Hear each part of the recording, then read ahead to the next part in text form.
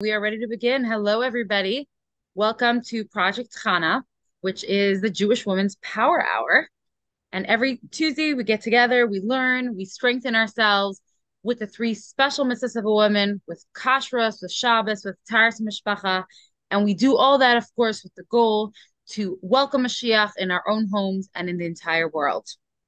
Um, I'm also just going to let you all know that you can stay for after the three speakers we're going to do Tired Tfilat Tzedakah together, learn a little Mashiach thought. So it's not over after the last speaker. Today's learning is dedicated as a schos for Shena Bas Chana. May she have a complete refuah shalema. And throughout the entire class, throughout the entire class, if you have any questions, you could just email Project Chana Power Hour at gmail.com. That's Project Chana Power Hour at gmail.com. It's also in the chat. You could just see it. If you listen, you have questions, and what's really beautiful about this is if you're listening to the class, whether live or in the recording, and you have a question, you could send in your question to that email address and a future speaker will address it. And now, without further ado, we're going to start with the first class in Taharas Mishpacha. And we are privileged to have Mrs. Sarah Rayzel Wagner, who's a longtime educator, certified college teacher, and she's going to continue on the topic of harchakais. So thank you, Mrs. Wagner, and take it away. Okay, thank you so much. And welcome back, everybody. Tonight, we will, the be finishing this topic. So we have a few last halachis that we want to finish up. And then we also have some questions that came in over the weeks. And in Mitzvah we're going to address them now as well. Okay, so I want to begin actually just addressing a few questions that came up on last week's topic. Then we're going to finish the rest of the halachis, and then we're going to bring up the other questions from the past. So last week we spoke all about the halachis that relate to mealtime and eating, and there were three specific points that came in as questions that I just wanted to clarify. So first of all, regarding the heker, someone was asking why it's okay to use a napkin holder or something like that. They thought that it can't be used. So I just want to clarify that when we discuss the different types of heker, first we said it could be a food that isn't going to be eaten during the meal. And the second category was an object that you don't usually have that's noticeable that it's different. So the distinction between these two categories is if you're using a food that you're not going to eat, you can't use it during the meal because food is usually eaten. So if you want the food to be a heker, it has to be something that clearly is designated as something that you're not going to be using. However, if it's an object that you're using, whether it's a napkin holder, or a pitcher, or vase, or whatever it is, the object is something which usually isn't on the table, or we said is always on the table but in a different place. So the fact that that object is there, that itself is unusual. So yes, you can use the pitcher or the napkin holder as long as it's beinei, and we said between the two of you, it is permissible to use. So that's the clarification about the heker. The second point was why is it okay for a wife to drink um, the kiddush after her husband? Isn't it his leftovers? So I just want to clarify regarding the leftovers that we said that there's a difference between what a husband can do and what a wife can do. A wife is always allowed to eat and drink her husband's leftovers. So if he's finished eating, you can finish his drink, finish his food, no problem. It's the husband who isn't allowed to eat his wife's leftovers. And if he does, we learned last week what he needs to do, put it on a different plate or someone else eats in between or something like that. Okay, so it's not a problem. If he makes kiddush, you can then drink from his cup. Now, he can't drink it after you unless he pours it into a different cup or if someone else drinks it in between. But you're allowed to have his without an issue. So just as an example to sort of remember, if you are, um, you know, stuck in a car together, you're going somewhere and you have one bag of popcorn or one bag of chips or mango, whatever, you, you know, your thing, and a bottle of soda, water, whatever you drink, um, then either you put some on a napkin, right? You designate it, or you pour it into a different cup. But if you're stuck and that's the only thing you have, you have no cup to pour it into, or no napkin to put, that's the only thing, one bag and one drink. Then if you're going to drink it, or eat it, your husband won't be able to have it because it's your leftovers. But if he has it first, then you're welcome to finish it. So that's how you would do it. Let him have whatever he wants, you finish the rest. That's the clarification regarding the leftovers. And the third question that came in was regarding sending. We said that there's a one-way halacha that a husband is not allowed to send, definitely wine, a chashiv drink, everything, anything except for water, according to Kitzur Dinei Taharah. So the question was, how is it possible? May a husband buy a nice drink for his wife? Is that considered um, sending? And then also regarding Kiddush, isn't it, um, if he puts it down, is that like indirectly sending? Could you clarify the sending piece? Okay. So here's how it goes. The husband is not allowed to send this drink to his wife. If, let's say, you want to order a drink, if you're out together and you want to ask someone to bring a drink, your husband can say, Can you please bring these drinks to the table? He's not saying bring it to the wife or bring it to the husband. He said, can you bring these drinks? To the, could you bring some juice and soda to the table? They come, they say, who is this for? He can't say her. he can't say give it to my wife, but he could say just put it down. Or the wife can say, I'll take that. Okay, so it could just be brought to the table. That's one option. Now, it does say in Tarak Halacha that I don't want to get confusing here, but that the, the problem with sending, this is one of the opinions, that the problem with sending is specifically if the drink is the husband's or if originates by the husband. But if someone else has a drink, it wouldn't be a problem for the husband to tell him to give it to his wife. It's only a problem if the husband is sending it, the drink is coming from him, whether it's his drink or it's starting off from him. So if your husband wants to order online a drink for you, and someone's going to be getting this order and taking it to you and delivering it to you, that wouldn't be a problem based on this opinion. The problem is only if the if the drink originates by the husband. Okay. So you could send for sure, bring it to the table. Everybody would agree that's fine because he's not directly sending it to you. And even um, according to this opinion, it would be okay if the sending doesn't begin by the husband. Okay, I hope that that clarifies. I'm going to move ahead. There were two more halachis that we're going to learn, and then we're going to clarify the rest of the questions. So we mentioned last week that there were three special activities. One is mizigas hakais. We spoke about the pouring drinks last week. Last week, and the two other ones are uh, making the bed and preparing water for washing. We're going to discuss this now. The only issue with these three activities is if it's done bifana. They're both. They're all two-way active um, issues. Okay, so a husband can't do it for the wife, the wife can't do, do it for the husband. But the only problem with these activities is if it's done in front of the spouse. Okay, so what we're going to start with the beds. It says that um, a husband or wife cannot spread the sheets of the bed in front of their spouse. Prepare the bed for sleep. It's not an issue, the tayreach part, the burning part, Okay, the housekeeping part of this, like stuffing the pillows into the to the pillowcases or putting the blanket into the duvet cover, that's not an issue. But there's something endearing about preparing the bed for sleep. And there are some distinctions about what exactly this means. Some say if it's, you know, in the morning, you're just making all the beds in the house, that's not a problem. You're just like tidying up. But if it's time to go to sleep and you want to make your husband's beds nice, let's say you got messed up a little bit, or you want to roll down the blanket for him to get inside, that would be problematic to do bifana if he's in the room. If he's out of the room, and you want to make them nice, that's not an issue. But if he's in the room or if you're in the room, for him to make the beds nice in order for you to get into that endearing piece, that's what would be problematic during Nida time. Okay.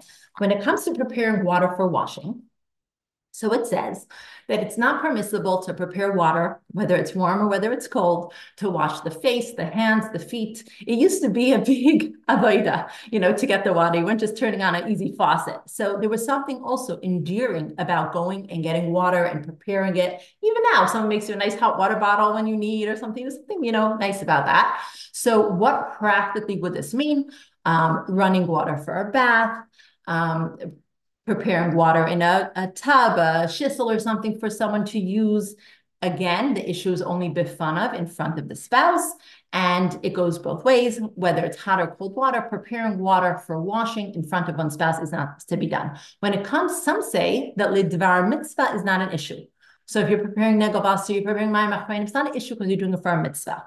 Um, even if somebody would want to be careful, for sure preparing negavas. If you're just preparing two neutral negavasas and putting it next to the bed, it's not a problem. And also the only issue is bifana. So if your spouse isn't around and you're preparing the water, it's not an issue either. Okay, so that concludes the two other activities of making the bed and preparing water for washing. Okay, there. Um, I want to mention just one other halacha. We mentioned that um, when it comes to the nida time in general, of course, there's a connection between the couple and there's a closeness between the couple. However, the expression of any romantic feelings is what is paused.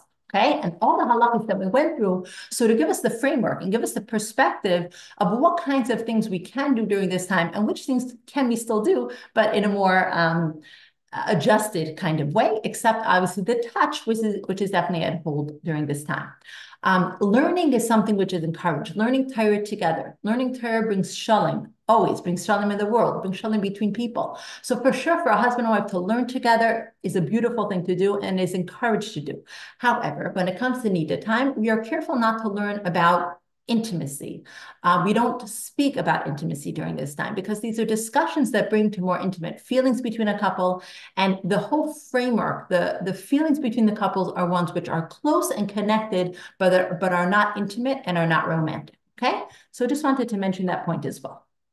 Okay. All the halachis that we learned these past few weeks are the same, whether it's the beginning of the nida time or the end of the nida time, even after the hefsek tahara, which is called bimei libon, there's no distinction between the halachis and how they're kept the entire nida time, from when a woman becomes nida until she goes in the mikvah, they're the same. There are two interesting halachis that are often brought down in connection with these halachis, even though they're not harchaka halachis, but they are connected to a woman when she's nida. So I just want to mention them. And these two points actually do have a distinction, bimei one. And what are these? So it mentions in halacha, this is both for a woman and for a girl, that during the time of the flow, when a woman has her period or when a girl has a period, she doesn't go to a cemetery, to a Beis um, if it's an important time, if it's the only time that she's in town, if it's a yahrzeit, something special, then sometimes there's a leniency that the woman can go. She should stay a distance from the caver.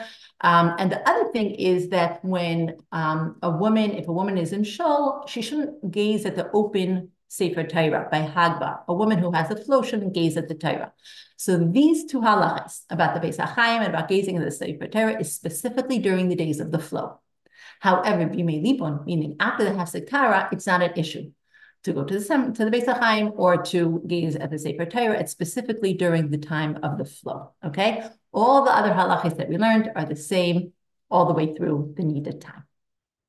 Okay, so this concludes the learning of the harchakais. If anyone has any other questions that I'm not going to be addressing tonight that you think of now or think of after this class, feel free to reach out, whether through Neshech or through mikveh.org at any time.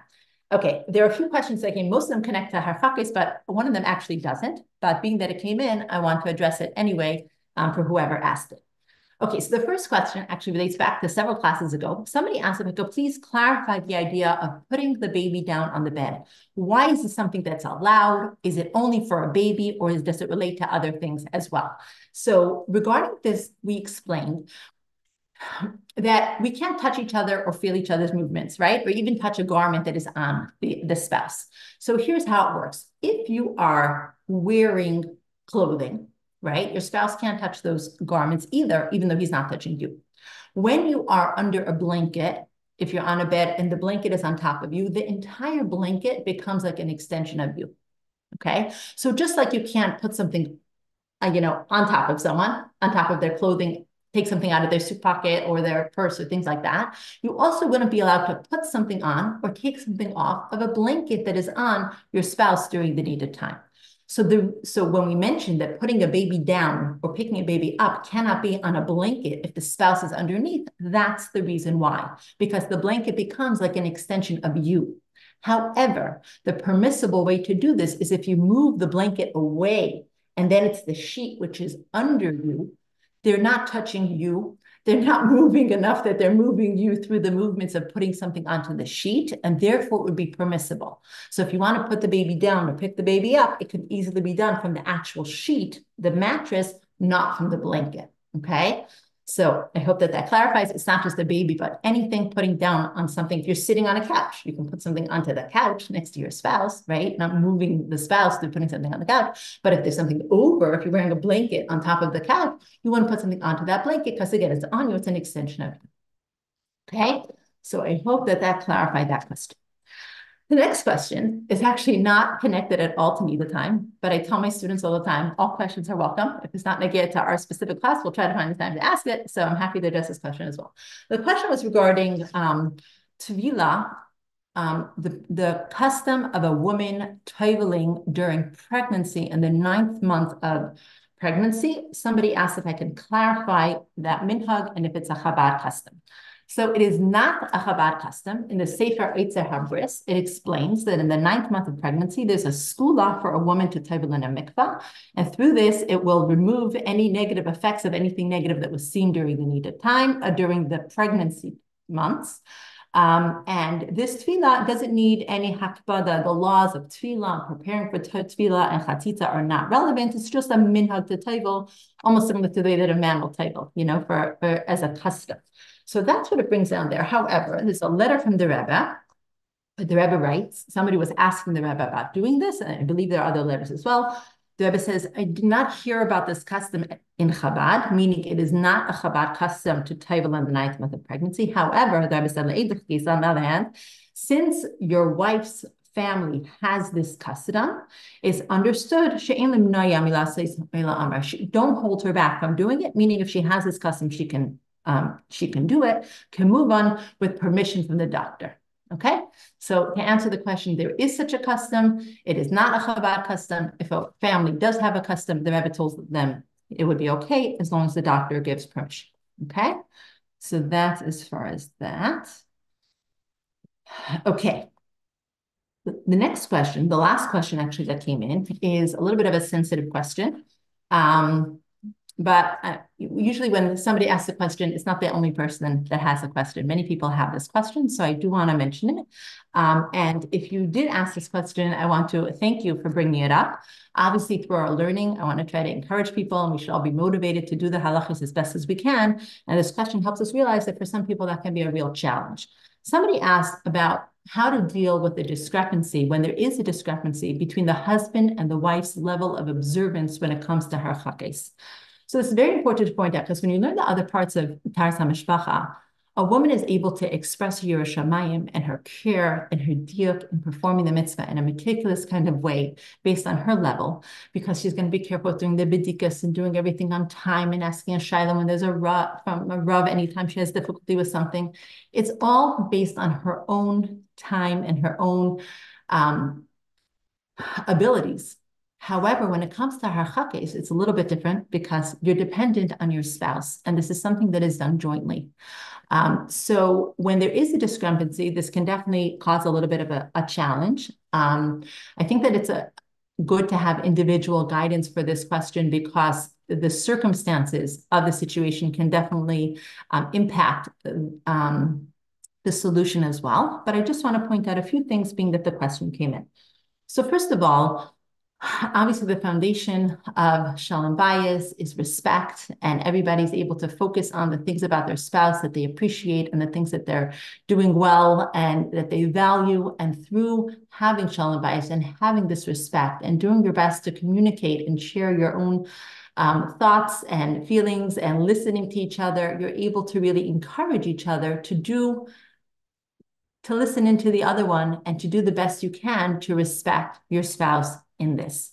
Um, when it comes to areas in this mitzvah where halacha itself gives leeway, halacha will say there's room to be machmir, or halacha will say there's room to be mekil, then it's important to listen to your spouse and see what they want and try to follow what your husband wants. Because if he wants to be extra careful, or if he needs the leniency that's brought down in halacha, as long as halacha gives this space, it's important for you to be able to be on the same page with this, even if it's different than what you would have ordinarily done. However, when it comes to actual halacha, it's a little bit more tricky because you have a chiyuv to do certain things. And therefore, the specific examples that were brought down were A, um, when it comes to passing things, and B, when it comes to him sitting on the bed and things like that. So sometimes it depends on the circumstances, but sometimes it's possible for um, couples to sit down and learn together from a book like Family Purity, review the halachas, or encourage us to learn it and just talk about it and see. Sometimes it's something very practical. You know, if you're out and you're going somewhere and you ask your husband to hold the baby and you left the stroller in the car and you're like going and you don't have anywhere to put the baby down, it could be very awkward. Sometimes it's a very practical thing that you can sort of preempt by planning. Um, so you could pay attention to what kinds of things it is that's coming up, and then you could avoid an unnecessary passing the baby when you have the stroller present, and it just makes it very smooth and easy. However, um, when it comes to other things, sometimes it's possible to have uh, like a family mashpia or somebody that you both respect to talk it over and see what could be done.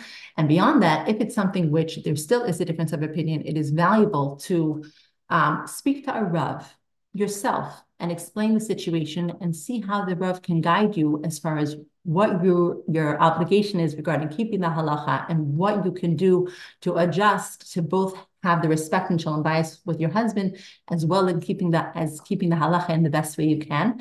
There are definitely many people. I've heard Sarah Carmeli speak about her story who were you know, keeping Taharas Mishpacha to the best of their abilities, where the husbands were in very different places, and they're encouraged in a very strong way the shalom bayis and the respect, and that definitely enabled them to eventually keep the in a greater possible way in the future. So I want to thank you all for joining us for this part of the halachas for learning the din harchaka. We have a minute left to just quickly read a little piece from a sikha that about Taharas Mishpacha, that by observing the mitzvah of Nida Tara Tefillah, which was given to the Jewish woman, she thereby brings purity and holiness into family life. Through this mitzvah, one merits fine, healthy children, whole in body and soul, children who follow in the path of Torah mitzvahs and who bring true nachas and joy to their parents. And the schus of our learning, everybody should be benched with whatever they need. Banechai Mezayna, Kul Revichi, all the brachas shalom bayis, everything good. Hmm. And thank you all for joining us and Hatzlacha moving forward. Thank you so much, Mrs. Wagner. That was so clear to the point, so easy to listen to. Very much appreciated. Um, now moving on to the next topic of Kashrus. It's an honor to have Rabbi Bell, the Rev of Congregation Lubavitch in Montreal and the Dayan of Beis Din in Montreal. Thank you so much, Rabbi Bell. Hey, thank you for the opportunity of addressing you. So I think uh, share my screen over here. So this is week eight. So I start off with just a few words from the Rebbe. So this is Behemshach, what I mentioned before about putting a pushka in the kitchen and attaching it to the wall, and how before you cook and prepare the food and the effect it has on the midas teves of those in your family and those that are eating the food. And just to mention something more from this uh, Sechant of Shemem Tes, in Elul and Sheikh Chabad, so he mentioned about that through attaching it to the wall, he said, like with nail or something like it, you make, make your house into a house of tzedakah, and it doesn't have to be anything fancy. You can just take a piece of paper, a piece of cardboard, and and uh, fold it up, and you don't have to be a kunstmacher to be able to make your own pushka and just attach it to the wall. It's not a big deal. That uh, attach it to the wall, and if you're in traveling and you can't nail it into the wall, it's not your house, so just attach it in some way that it's uh, halachically attached, something you wouldn't be able to detach on Shabbos, tape it or something of the sort. And then when you leave, you bring that pushka home with you, and then you can take that pushka and attach it to the wall. And then it was said of Befrat that uh, through doing this, uh, that this is the place, which is the woman's place, the, the kitchen, where she prepares the most gashmi for the whole family. And in the chus of the mitzvah tzedakah, so this also adds in the Ebershitz brachas and parnas and everything good. And uh, found a picture over here, as you see. Doesn't have to be fancy. Is the Rebbe's kitchen. And you can see over here the green pushka attached to the wall over there, right next to the plug. Okay, so without further ado, we're going to finish this uh, list of things in the kitchen and the various halachic issues associated with them. So first, let's speak about serving utensils, cutlery, salt, and spices. So we have over here serving bowls. So here you have a salad bowl. So many people have a parva salad bowl. So you don't usually have a parva table. So what exactly is the status of this serving bowl? Do you need a fleshika salad bowl and a milchika salad bowl to put on the milchika table and the fleshika table? So the answer is not, since everything is cold, as long as you're um, uh, making sure that the actual fleshik or milchik utensils are not being put directly in it. You have serving utensils, whatever the spoon that's being used to serve the salad, everything should be parv and everything should be kept separate. Now, I will mention, it's going to be relevant, we're going to be talking about salt shakers and things of the sort, that people's hands are not necessarily clean, especially you could say the younger uh, the younger generation and the children and the hands are full of grease. So what what is that? Um, how does that affect it? So since everything is uh, is uh, is still cold. You just have to be careful that it shouldn't have, you know, mamish meat hanging on it. And uh, halachically, that is considered to be mutter. So too, you don't have to. Um, when it's cold, you can put it on a fleshuk counter. You can put it on a on a milchaka counter if it's par. We don't put fleshuk kalim on milchaka counters lachatchila, even if they're cold. But on a parva serving bowl or something of the sort, um, we are lenient. So too, you have in the middle different cooking utensils. So here you have uh, something which is used with hot food. You're flipping pancakes or eggs, whatever it happens to be, hamburgers. So they should be clearly identifiable which ones are milchik, which ones are fleshik. So the best is you have it like this. It's very, very visible. You know, and the, the Shulchan Aruch, it speaks about knives, about having separate knives and being careful about separate knives. We'll soon speak about um, the food that's cut with a knife, a fleshik knife to use the milchik and vice versa. But um, it says that uh, the custom was you I'm not going to mention what the custom is because the custom is not like that anymore. Because the custom today is, is to label both of them, the milchik and the. Because then they would only label one. Everybody knew that if it had a chritz, you made a mark in it, so then you knew what what it was. But today, the both of them should be identified, and they even sell little plastic or um, different sorts of identifying uh, trademarks. The best have separate colors. You don't need that as long as it's easy to tell them apart. And as I mentioned previous shiurim, you see on the right that knives are especially important.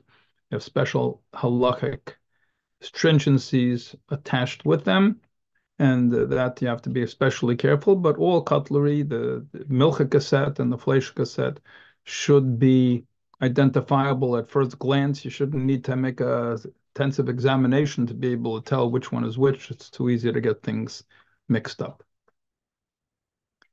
Okay, salt and spices. So salt, the Shulchan Aruch says that you have to have separate salt for milk and separate for, for, for meat. Um, but they were not talking about salt shakers. They're talking about um, salt cellars. And people would push it, take the meat and dip it right inside, or take the cheese and dip it inside. So obviously you have such a situation. So you can have pieces of meat inside, and obviously you have to have separate ones. But what about a salt shaker? The meat is not jumping through the little holes to get into the salt shaker. However, as we learned in our uh, introductory principles, we ha do have a concept of zeya, that the steam that's coming off of a food has the uh, status of the food itself. So you see on the left-hand side, if this would be rapidly boiling, which it I don't think it is. We don't see steam coming out, at least not from this picture. But if there would be a lot of steam coming out and it's going into the salt shaker, if it would be yad soledes bo that was hot, as we discussed in previous occasions, what exactly the halachic definition of hot is, so then you would have an issue using that salt for something uh, milchik. So in general, it is for things that are so frequently used as a, as a salt shaker to have a separate one for the milchik and a separate one for the fleshik and especially that people are using it a lot. So the issue I mentioned with the uh, cold parvid bowl is much more uh, an issue when it comes to salt shakers, which are being used probably more often. And um, so therefore, it's proper to have a separate one for milk, except ones for fleshik. Now, does that actually, let's say somebody got it mixed up. Does it, uh, does it, uh, does it uh, prohibit things? So um, in most cases, it's going to be far enough away or the food is not going to be so rapidly boiling that it's going to create a halachic problem. In the event that it did, or that you frequently use it in such a manner, so then you have to be especially careful because it could make potentially uh, an issue. Although b'di'evid, uh, I doubt it would, because even though salt is not batal b'shishim, um, if, but that would be only if the salt itself was prohibited. Salt is not batal b'shishim because it has a strong taste. Even if it's less than 160th, it'll give taste. But the salt does not become fleshik. The salt is carrying the taste of fleshik. Anyway, it's the, beyond the scope of the shiurim to explain why, but you should nevertheless, if it happens and it got hot and you got it mixed up and you're frequently doing so, you definitely should ask a shaila. On the right-hand side is another eitzah, what you could do to do it just with your uh, with your hands. Now, when it comes to other spices, you know, people sometimes have a lot of different uh, jars of spices. You know, people that have, I don't know, 10, 20, 30 different types of spices. So there's the 10, 20, 30 need to come 20, 40, uh, 60. You need two sets for milchik and fleshik. So the, the answer is no. You don't need separate. You don't need even, technically speaking, for salt, as long as you're careful that it shouldn't get uh, hot steam coming up into it. So if you're not sure, so then you could always put the spices in your hand and then put it inside, or else just hold it high enough above the food if it's actively hot and giving off steam that it shouldn't get mixed up. But there's no halacha that you must have separate. Um, but it is Eitz Teva, and it's you know, might be more convenient, depends on how much you use them and whether when you're putting in the spices, you know, do you wait till it's all heated up and rapidly boiling, or you put it in the beginning when that's not an issue? Okay, next. I put this in a separate category, blender, grater, food processor.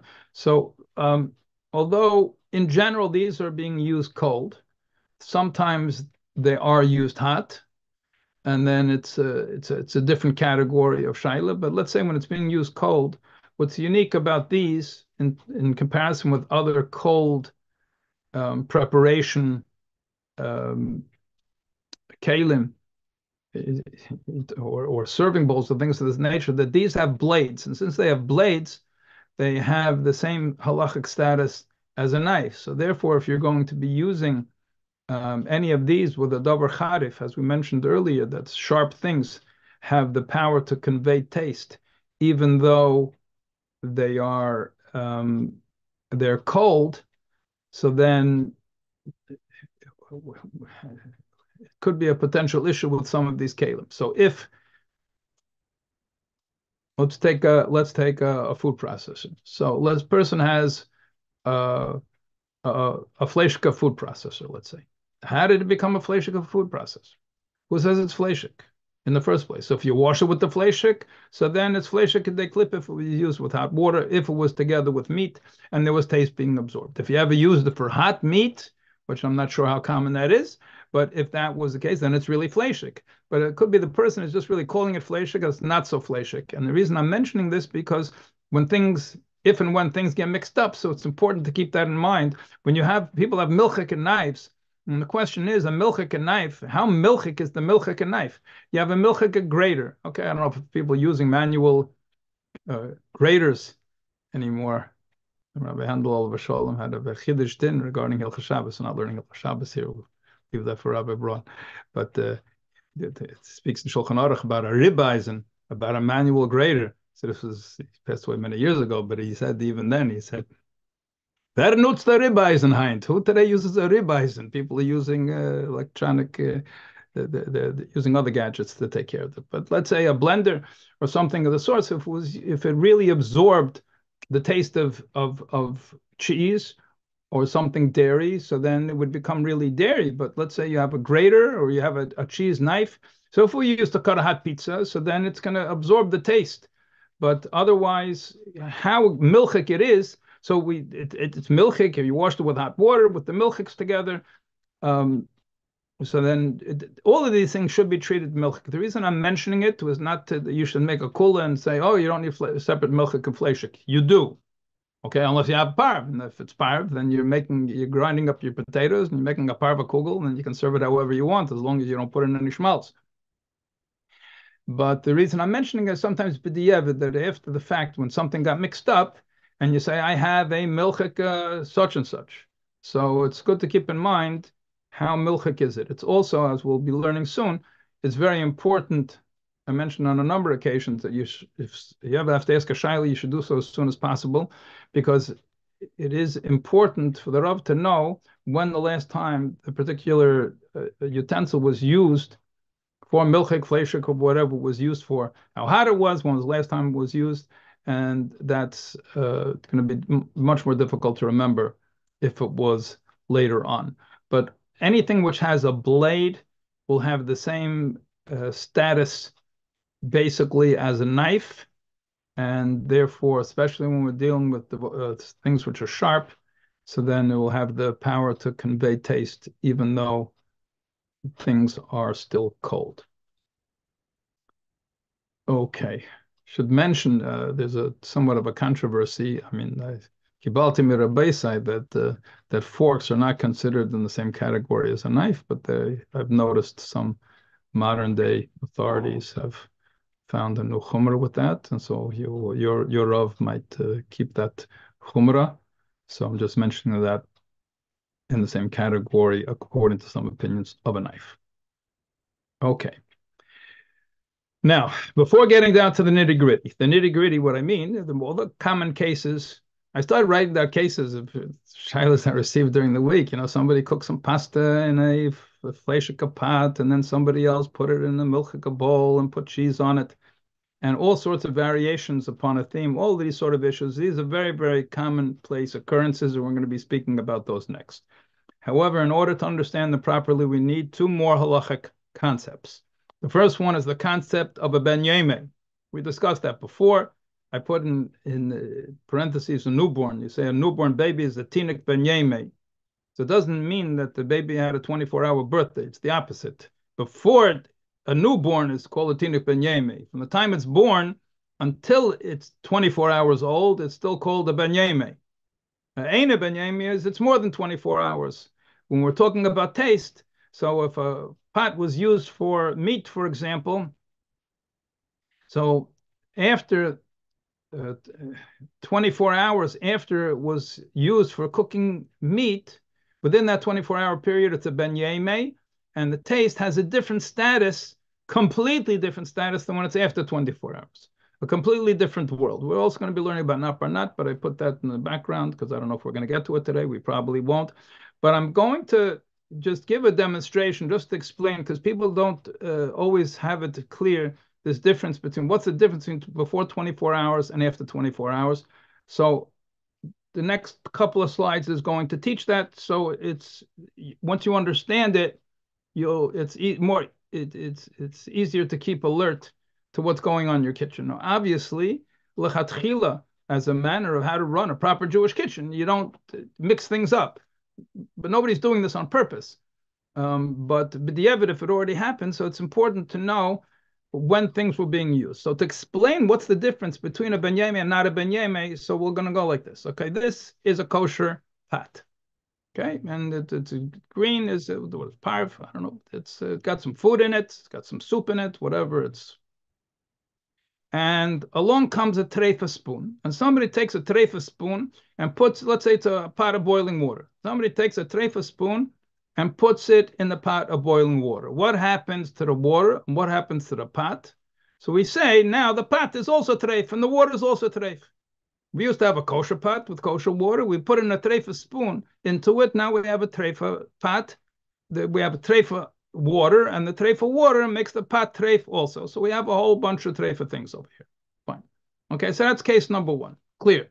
Case number two. The other way around. It's not a it's not a kosher pot with a treifa spoon. It's a treifa pot with a kosher spoon. What happens? Here we have a treifa pot with treifa water. If you like, it could be the pot from the previous slide if you prefer that, but it doesn't have to be. Anyway, you take a, now a kosher spoon and you put a kosher spoon in the treifa pot. What happens now to the kosher, the, the kosher spoon? The kosher spoon is now a treifa spoon. Okay, so now what happens if you take this treifa spoon and you put it in a kosher pot?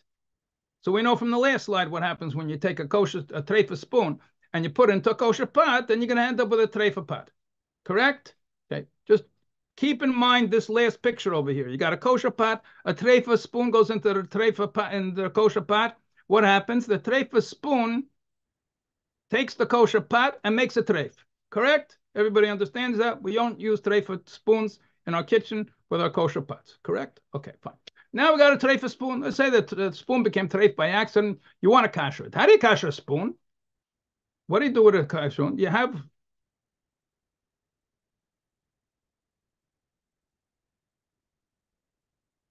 Let's just go back here. You have now a treifa spoon. How do you kash a treifa spoon? You take a treifa spoon and you put it in boiling water, right? The boiling water you're going to make in a kosher pot or a treifa pot. Obviously, you're not going to put it in a treifa pot. You're going to put it in a kosher pot. So when you kash it a treifa spoon, you're going to have to boil up water in a kosher pot and then put it inside the kosher pot. And then at the kosher pot is going to take the treifa spoon, make it a kosher spoon. Yeah, but didn't we just say that when you take a treifa spoon and you put it in a kosher pot, what happens? What happens? It makes the pot treif. So what's going on over here? We just said that when you take the treifa spoon, you put in the kosher pot in the boiling water, that it makes the water in the pot treif. Now we're telling me, okay, now you got a treifa spoon. So how are you going to kasher it? You put in the boiling water in the kosher pot. We just said that makes it the pot treif, not the spoon kosher. Okay, so um, I, I imagine everybody understands the problem. It's obvious problem. The difference is whether the spoon is a ben or not a ben If the spoon is a ben yeme, that it was used for treif in the last 24 hours, it will make the pot treif.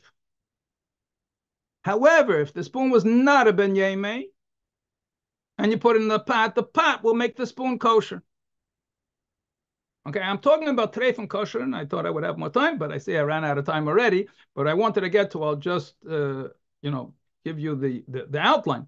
This same principle, the general principle about whether something was used in the last 24 hours applies to milk and meat as well. However, um, it's much more lenient, and that's where we're going to need the second principle that I put on the slide. But the most common case here is somebody cooked pasta in a parva pot, okay, and then they put a fleshika spoon into the parva pot. Or vice versa, it could be a fleshika pot and they use the parva spoon, whatever the case is. Let's say it was a parva, the parva pasta, a person put in a fleshika spoon. Okay, now the person took that pasta and he put it on a plate. And now they want to put cheese on it. So now what happens? we have some taste of the meat that went into this water and into the pasta. And now that taste has been somewhat diluted. And that concept is called not barnat. We're going to learn some about that. We're not going to go into the details of it. But to, to, what point do you have to worry about crossover? Will it make the food treif? Will it make the kalim treif? We're going to give some examples. But that we're going to have to leave for next week. Thank you very much, Rabbi Bell. Loved all the pictures, so clear. Thank you for the full presentation. Um, now we're going to go on to the next mitzvah, the mitzvah of Shabbos. And we have the privilege to hear from Rabbi Braun, the Mar Asper of Crown Heights. Is Rabbi Braun pinned? I still see Rabbi Bell. I'm here. Do you hear me? Oh, yes, now. Okay, thank you. Okay, let's go straight into it. Just before, um, first of all, I have to say this uh, just before we start. I'm inspired every single week. Um, again, when I see so many women, the ones that I could see is the amount of participants that we see here, and I'm sure there's many others that listen to it afterwards. It's really inspirational, and it's an amazing thing to take an hour off your time and to become proficient in the halachas that you need to know, which is an amazing thing. And if we're talking about Hilchos Shabbos specifically, I should mention that the Alter Rebbe tells us that every single Shabbos we should learn the halachas of Shabbos. It's an important thing to do every Shabbos. And the Sefer Yaras Dvasha, Bienis and Eibshit says that if we don't learn Hilchos Shabbos, it's impossible to keep Shabbos. So we're still doing the halachas of Kiddush. It's taking us a bit longer, but it's important before we keep the halachas of Shabbos first to make it to become Shabbos, and that's when we make Kiddush. So I'm gonna I'm first gonna follow up on a couple of questions that came in, and then go to this week's shiur. So hopefully we can do the questions very quickly. There were questions that are not related to the subject that we're learning about. So with respect to all those that submitted those questions, if it's not related to the topic of kiddush, I'm not I won't deal with it because I want to focus on the subject. And there are questions that will come up either later today, tonight, or next week. So we'll wait for those. There was a question, I'm going to read the question exactly how it came in. I understand that in order to be Yaitza, the mitzvah of Kiddush, the Kiddush has to be B'makim Suda, which is something we spoke about the week before. You can only fulfill the mitzvah of Kiddush if you have a meal afterwards, and we spoke about various options for that meal. That could be bread, that could be mazoinas, could even be another cup of wine, etc. So this person asked, however, if I know I'm going to be hearing Kiddush later on, and that later Kiddush will be B'makim Suda, would it be, I'm assuming supposed to say, would it be okay? So the answer to that question is, if you're going to be hearing Kiddush later on, and that Kiddush will be B'makam, so that will be Kiddush, and the Kiddush you're hearing now will not be Kiddush. So the Kiddush that you're doing now is a meaningless Kiddush, and if you're going to be eating now, you're going to be eating before Kiddush. So that's straightforward the way it is. You cannot have the mitzvah of Kiddush unless it follows a Suda, bread, mezainis, cup of wine, etc. Next question, is there a specific time for when we should not eat or drink before Havdalah? Yes, from sunset. From sunset, Shabbos afternoon, it's considered before Havdalah you can't eat or drink unless you're in the middle of a meal. Next question. We learned that we daven mincha before lich benchen. You're supposed to always daven mincha before you bench lich for Shabbos. The question was, it's about 10 minutes before the time to bench lich, and I didn't yet daven mincha. What's better? Should I make it tonight a stipulation when I bench lich that I'm not accepting Shabbos with my lich bench and that I could do mincha afterwards? Or should I just daven mincha first and then light candles? So I need to clarify this question. Mincha itself shouldn't take that long. If you have 10 minutes to light candles, the candle lighting time, mincha shouldn't even take 10 minutes, unless you're doing the full-on mincha with pas haidu and pasach and karbanas and, and aleinu and who knows what. So it's definitely important to take care of your shemanesra and do that first. Because really you're supposed to do mincha before candle lighting. And if you manage just to do shemanesra, the rest of the stuff you'll add later on. If we're really getting pressed for time, for some reason, Yeshua Nesser takes 10 minutes, and Kol HaKavod, takes you 10 minutes, that's amazing on a Friday afternoon to be able to spend 10 minutes on a Mincha Shemanesra, then, and you're stuck and you won't be able to light candles on time, and then you should light candles on time. You should not delay candle lighting time. And then you should make that stipulation and have a mincha afterwards. Again, I'll just um, repeat again what we spoke in previous classes that we ordinarily a woman is not supposed to make a stipulation when she lights candles. She's not accepting Shabbos unless there's a serious need. But we did mention davening mincha is a very serious need. If because of that she won't be able to daven mincha because she accepted Shabbos, she can make that stipulation. And two other questions: When a woman or girl makes Havdalah, does she do ma'odah ha'ish? So there's a bit of disagreement about that, but the accepted practice is that women do make Moira ha'ish too. They have the same halacha like men in terms of making a bracha on the fire. However, when they're hearing Kiddush from, uh, sorry, not Kiddush, Havdalah, from someone else, so why do they have to make the bracha? They could just hear the bracha and say Amen instead of making their own bracha. But when they're making their own Havdalah, certainly they should make a bracha on the fire. There is, however, a custom, which is particularly in Chabad, but some other circles have it also, that although the women are part of the mitzvah of Moireh Eish, but they don't look at their nails during Havdalah. And there's a spiritual explanation for that. It has to do with the sin of Eitz Hadas, which we're not going to go into that right now. So it is such a custom. But in terms of making the bracha of Moireh Eish, yes, that bracha applies to them. But like I said, if you're going to be hearing Havdalah anyhow, why do you have to go and just make the bracha when there are those that say the woman shouldn't make the bracha?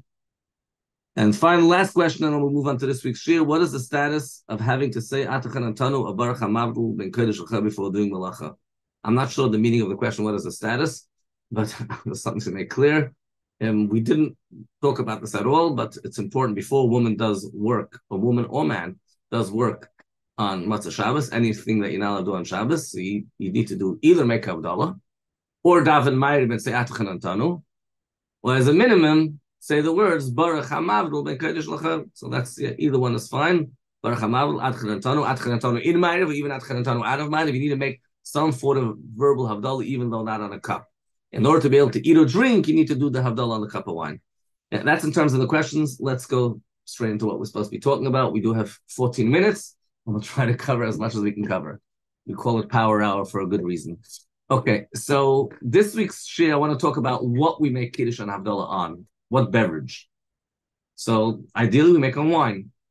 Now, there's two types of wine. In halach, we have a concept called yain migitoy, wine the way it came out from the press, which means wine which didn't ferment it and didn't turn into wine. And in modern lingo, we call it grape juice.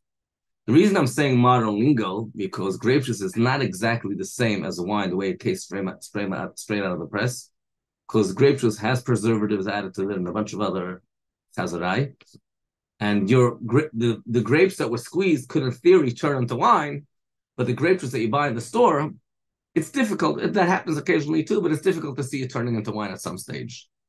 So according to halacha, freshly squeezed gr- juice from grapes is considered wine.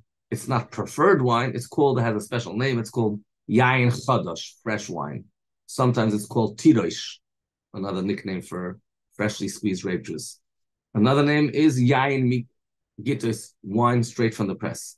So the Gemara tells us that you let us squeeze a cluster of grapes and go make a kiddush. Obviously, you can't squeeze it on Shabbos. It means squeeze it right before Shabbos, and then you can make kiddush on Shabbos. That's the halacha. It's perfectly fine. However, there's a mitzvah and a mufcher, a preferred mitzvah, and we always have a hadr mitzvahs. The preferred way of doing the mitzvah is what we call yayin yashan, wine that has aged. And uh, especially in the time of Chazal, it was 40 days it would take for the wine to age and to ferment properly. So some want to argue that our grape juice is worse off and we can't even make Kiddush and Avdallah on our grape juice, but that's not the accepted opinion. The accepted opinion is that our grape juice is also considered kosher for Kiddush and.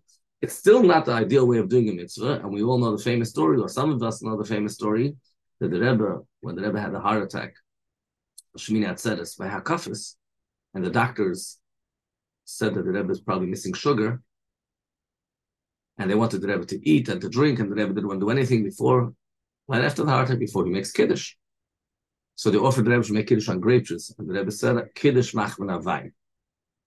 So even though the Rebbe needed sugar in his blood, and wine wasn't the best thing for him, no, he wasn't going to forego, and it was right after a heart attack, um, the Rebbe was not going to forego this hiddur of making Kiddush on wine after. But like I said, it's a mitzvah it is kosher to use grape juice.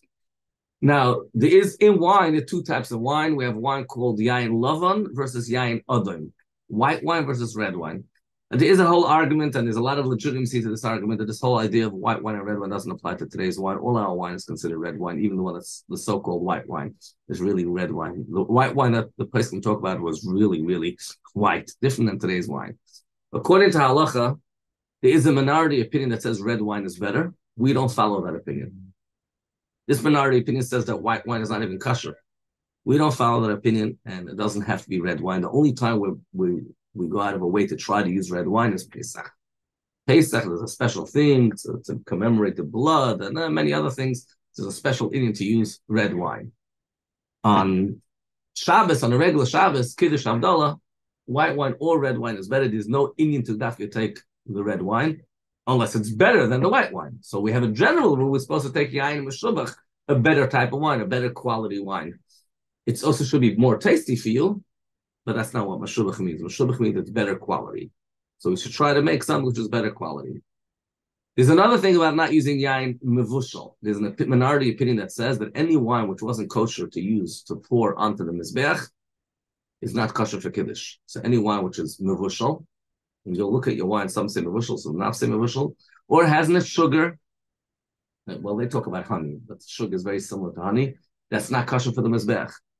Now, again, we don't pass like that, but what we do hold is that if you have two equal wines, you have two wines, mavushal and not mavushal, and they're both equal in quality, obviously you're better off taking the not mavushal. And that's where you'll find a lot of people, you'll go to people's homes, some people are very particular to take not mavushal wine. And other people will dafka take the mavushal wine. The reason why some people take the mavushal wine, because when it comes to issues with goyim handling the wine, once it's mavushal, there's no problem going and handling the wine, looking at the wine, and we'll talk about that in a moment. But the not mavushal is really a problem. So if you're having non-from people and you don't even know who's Jewish and who's not Jewish and all that kind of stuff, it's not a good idea to be holy and use the non-mavushal wine. In fact, the Rebbe would give sometimes kashal bracha. The Rebbe told certain people that before you go through the border, cook the wine. Put it into a pot and literally cook it, which is another whole discussion whether today's pasteurization is really mavushal or not mavushal and touch every single topic. So there is that advantage of not mavushal, but on the other hand, it has its problems. So some people get the mavushal and they don't have any problems. And some people get the non mavushal, they make sure to hide it very well, and the cleaning lady should never see it. What's this issue of the cleaning lady not seeing the wine? So let's talk about that. And there's a lot of misconception, a lot of myths and misconceptions about this topic. The halach is wine which was poured to Avodah is uh, treif. That's called Yain Nesach. That's in the Torah. There's something else called Stam Yenam, which is rabbinic rule, which means that people often use the wrong terms. That gets me personally. I can't stand when people use the term Yain Nesach, it means port Zara, when it's not really Yain Nesach. Stam Yenam means the typical wine which a guy has, which a guy handled. And there's a, a bunch of rules what's considered handled the wine. If you poured the wine, if, for example, a guy takes if a wine has a cover on it, it's not called handled by a guy. So there's a whole bunch of rules about that. There's no halacha that a guy is not allowed to see wine. No such thing. You won't find it anywhere in Shulchan Aruch in any place. It's not halacha. There is, however, a chumrah which is found in certain svarim, not not halacha, that certain chassidim and anshe pious individuals had this extreme approach, and they were machmer about what they call today rias goy or rias akum a guy looked at it, you never know when the goyim look at something, their mind go, they have all kind of treif ideas in their mind. I, I don't want to touch wine that a guy looked at it. But that's not found in the Shulchan Aruch. It's not found in all the places around the Shulchan Aruch. And therefore, you'll go to the store, to the wine store, it's important that you know this, and you'll buy wine with a beautiful top, top, top quality hechsher. It will be wine that in the factory, goyim looked at that wine. Very, very likely. Because a lot of hechsherim are not particular about that. Finnish Shedim are, and I mean I don't mean ultra Orthodox Shedim, I mean Chassidish, Dafka people from a Chassidish background. So, for example, the Eidah HaChareidis in Eretz the top actions, it's not an issue for them. So, in Chabad, we're very particular about that. And for those who remember, the Rebbe's Shabrein, the Rebbe's wine was always in a paper bag. And the Rebbe always personally handled his wine. He didn't give it over to anybody else. It's one thing that the Rebbe handled himself, didn't let other people be part of that.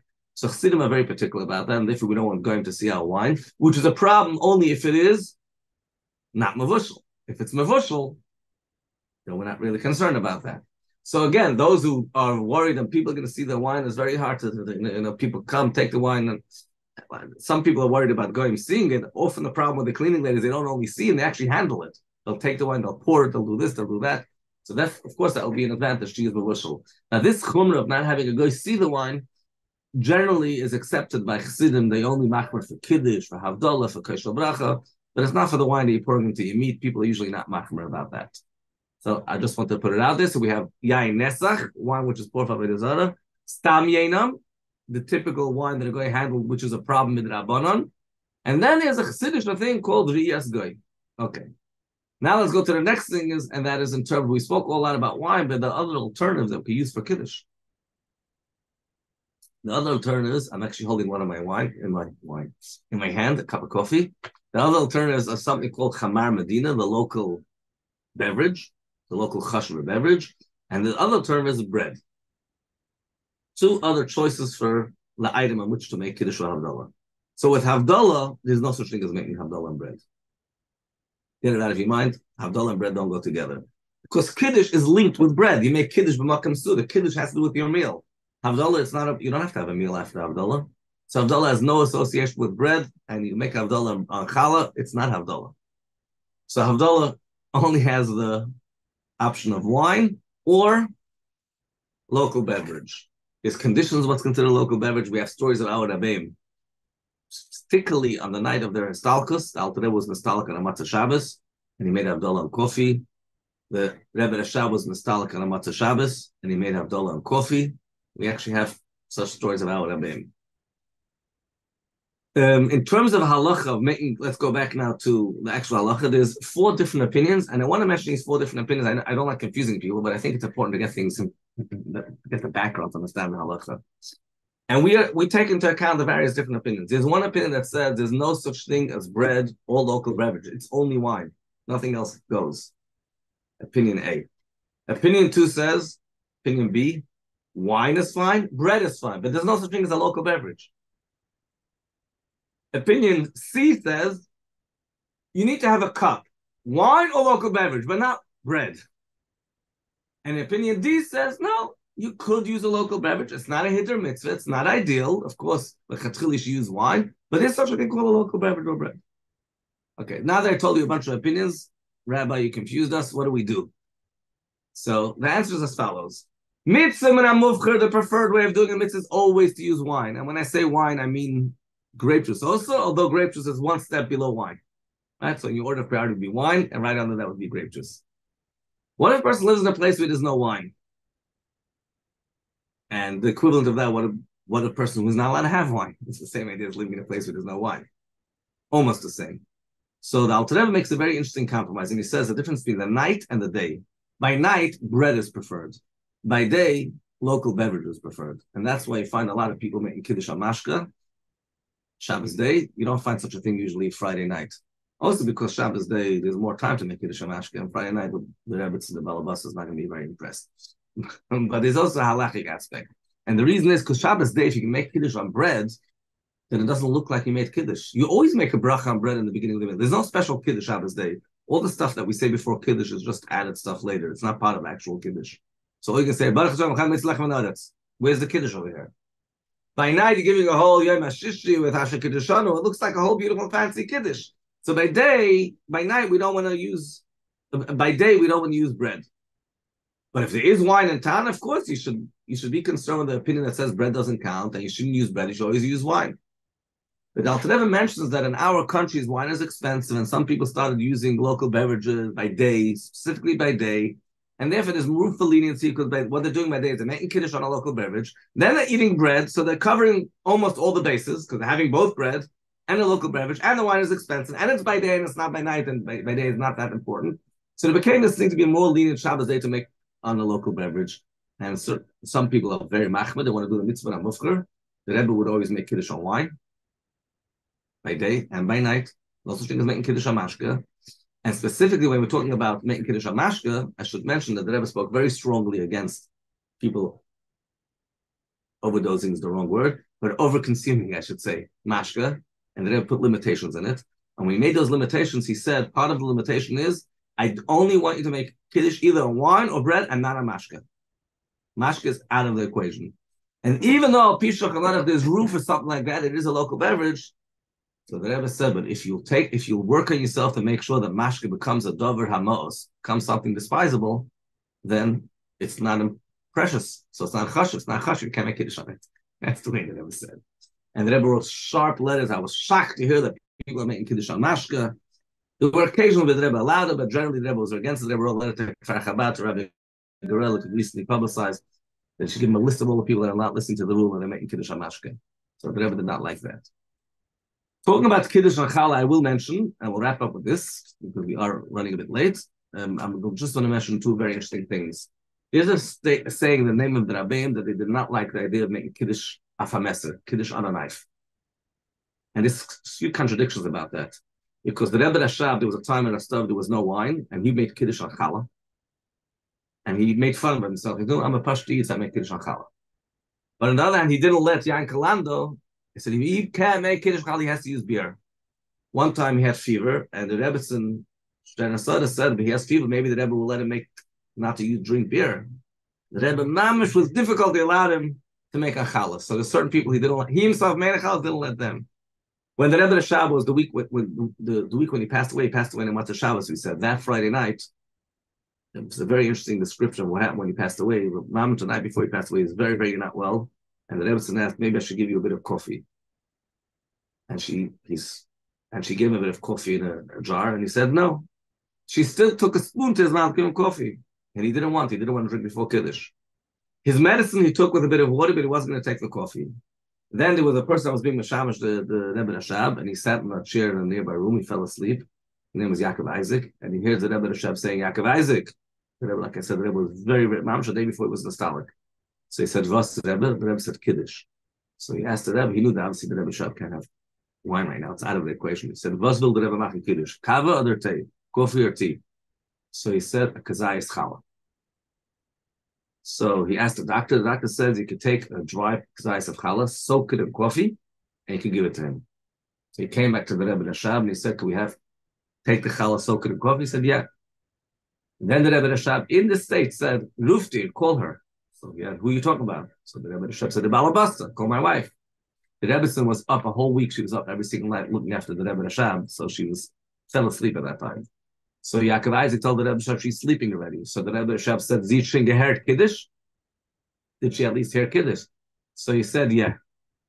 So the Rebbe Rashab can give me the Kazai. Schal and he made Kiddush on Kala, the last Friday night of the Rebbe Rashab. There were times, if Shidi Rebbe says that Chassidim, there was such a, they were so against Mashka, they didn't even let them make Kiddush on wine. Even wine, they wanted to make a a strong rule, and they only used challah. So we have some the Rebbeim that were against this idea of challah, but generally speaking, according to Allah, like we said, by night you're stuck. We would make a challah. By day we would make another beverage. We have to stop right here. Thank you very much, Rabbi Braun. Very informative and interesting.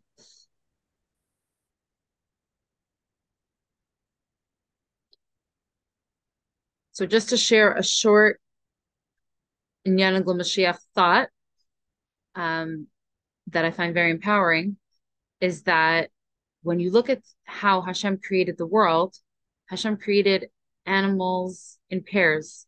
And when it came to Adam HaRishon himself, he was created Yechidi, he was created alone.